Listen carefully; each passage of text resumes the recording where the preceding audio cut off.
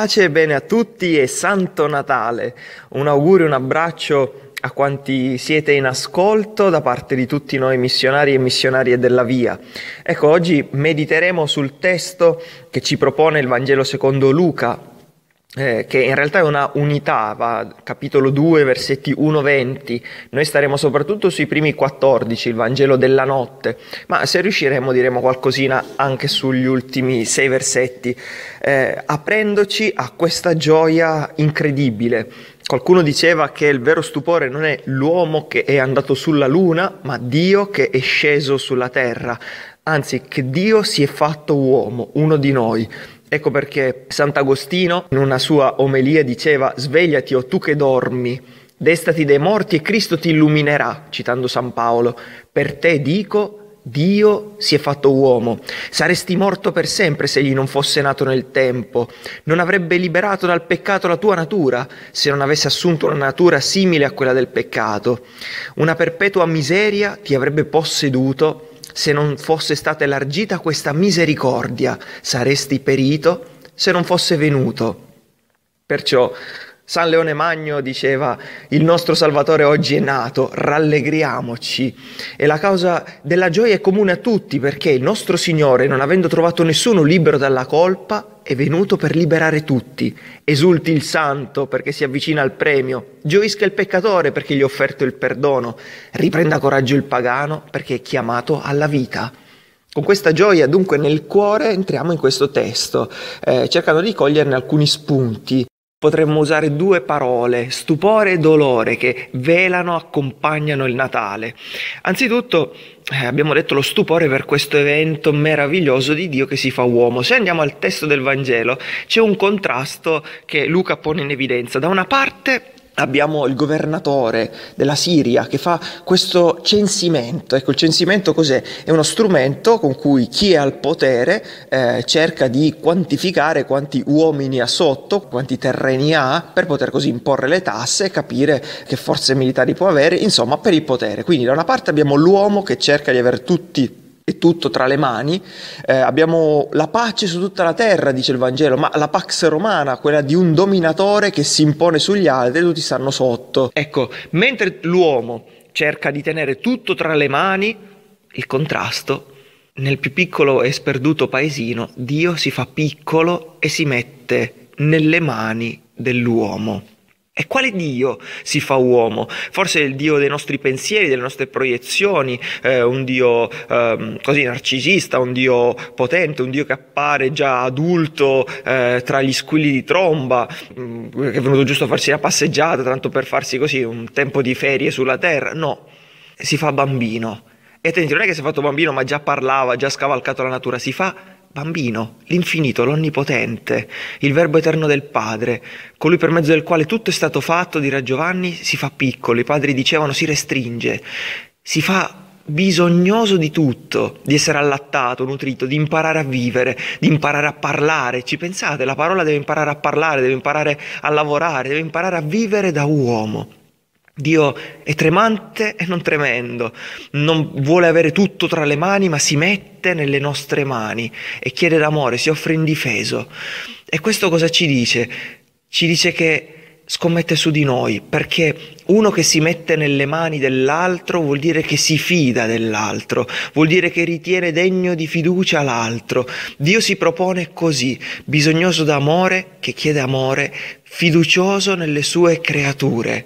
E questo è bellissimo perché se uno immagina questo bambino che viene donato non solo tra le braccia di Maria, ma tra le nostre braccia, quello stesso Dio che riceviamo sulle nostre mani, o meglio nella nostra bocca nell'Eucaristia, che si dona a noi, che dice ti amo come sei, che dice mi fido di te, qualcosa di meraviglioso perché, perché la prima esperienza del Natale è l'amore e fare esperienza di questo amore che noi tante volte feriti nella nostra vita non abbiamo sperimentato come avremmo voluto, tante volte le mosiniamo qui e lì e mentre facciamo a gara per essere qualcuno, per svettare, per imporci sugli altri, mentre elemosiniamo il nostro valore, mentre cerchiamo eh, che gli altri ci diano il diritto ad esistere perché ci reputano belli, bravi, fruibili, intelligenti, Dio si mette tra le nostre mani e dice ecco quanto ti amo, al punto da affidarmi, da consegnarmi a te. Verrà deposto, dice Luca, in una mangiatoia ecco, con un verbo simile, anzi lo stesso che Luca userà poi nell'ultima cena, quando Gesù si siederà a mensa e dirà questo è il mio corpo dato per voi, mangiatene. Come il corpo ha bisogno del cibo, la mente ha bisogno di nutrirsi col sapere, l'anima ha bisogno di nutrirsi con l'eternità, con l'infinito, con l'amore di Dio, con Dio stesso. Questo mistero grande d'amore, ecco, che apre i nostri cuori allo stupore e quando uno si scopre amato e questo amore pian piano penetra nel cuore, pian piano meditando la sua parola, nella preghiera, attingendo i sacramenti, tu ti riscopri amato, risboccia la tua vita, perché già in natura quando vivi in un contesto dove percepisci amore ti apri, sbocci, cresci, sei te stesso, non vivi più in difesa nella paura di, ma nella gioia di donarti.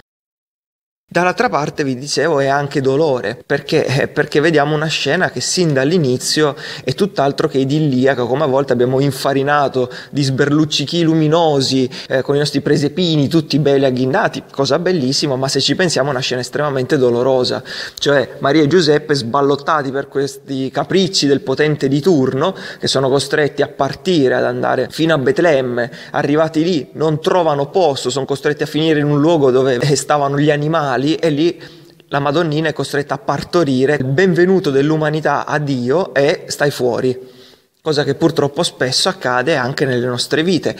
Ma vedete, entrando nella scena del dolore, già una prima cosa bella da dipingere, da avere sotto gli occhi, è che mentre il governatore, mentre c'è una storia negativa, quindi mentre ci sono fatti duri, Dio nasce proprio in quei fatti e il fatto che Giuseppe si debba spostare, andare da Nazareth a Betlemme, diventa l'occasione perché si compiano le scritture che da Betlemme sarebbe arrivato il Messia. Vedete, è una cosa meravigliosa, ci fa aprire il cuore, perché? Perché anche gli eventi dolorosi della nostra vita, messi nelle mani di Dio, possono essere tutti occasione di una più grande provvidenza.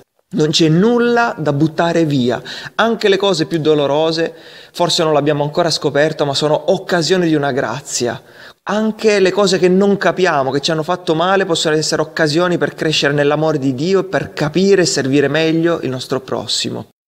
Dicevamo dunque una scena di dolore. Arrivano esclusi e scartati.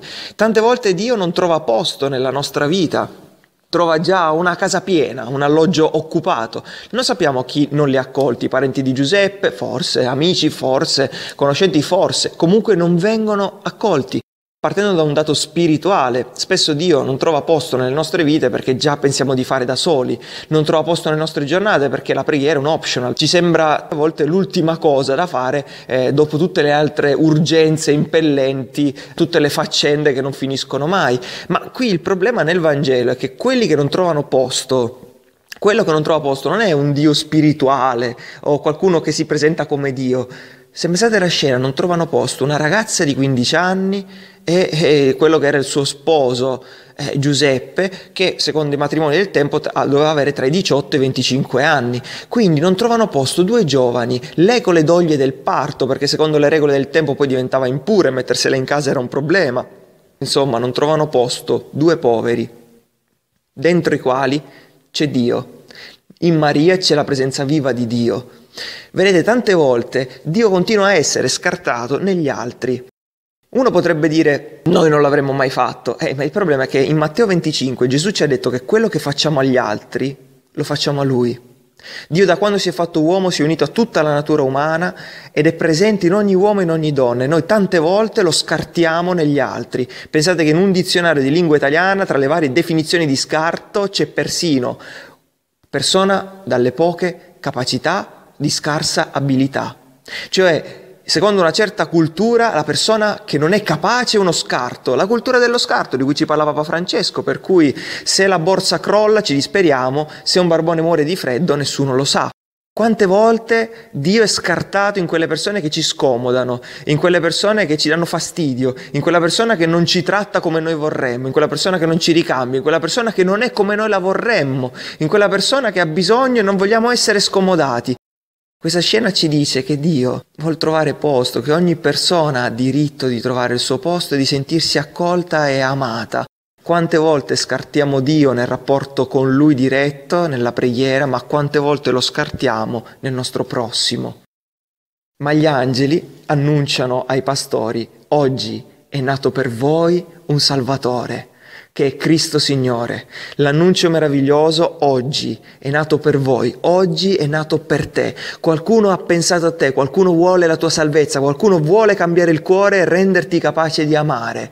E i pastori Van contemplano questo prodigio e lo annunciano pieni di gioia, che sia la nostra gioia di scoprirci così amati e che questo amore cambi in profondità il nostro cuore, perché chi è Dio e concludiamo come si presenta a noi quel frugoletto di tre chili che tanto faceva commuovere San Francesco, al punto da inventarsi il presepe per contemplarlo meglio. È quel Dio che si abbassa per innalzarci tutti, che offre amore e che chiede amore.